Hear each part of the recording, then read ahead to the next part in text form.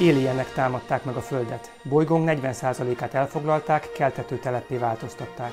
A NATO megállította őket, öldöklő állóháború alakult ki. Robert C. Kestel és Nógrádi György lapunknak a háborúkairól elmondták, hogy Soros György és az LMBTQ lobby híre a galaxis minden szegletébe eljutott, és szemmel láthatóan felzaklatta az éljeneket.